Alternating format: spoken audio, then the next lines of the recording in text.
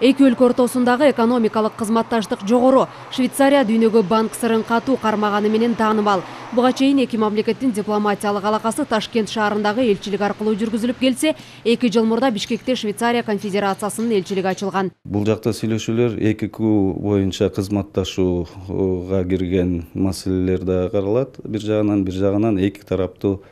маселелер дагы талкууланат азыркы бул э, ушул сапарында келишимдердин үстүндө колго илинбайт анын үстүндө иштегенибиз жок тышкы иштер министрлеринин ортосунда документке коюлат учурда кыргызстан менен швейцариянын ортосунда жыйырма беш эл аралык келишим жана макулдашуулар түзүлгөн. Анын ичинде эки баскычтуу салык системасын жоюу өкмөттөр аралык соода экономикалык кызматташуу жана башка келишимдер бар. Айрыкча ушу швейцария мамлекети кыргыз республикасына ошол медицина жагынан ошол жанакы мамлекеттик башкаруу жагынан анан жана бизнес чөйрөсүндөгү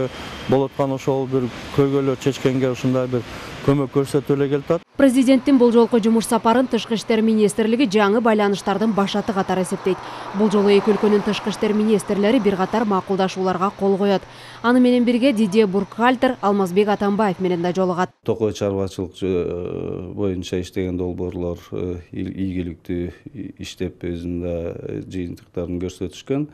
Э, азыркы учурду атап кетсек биохлопок деп коет орусча пахтан бақтан жаңағы органикалық био жағынан стандарттарын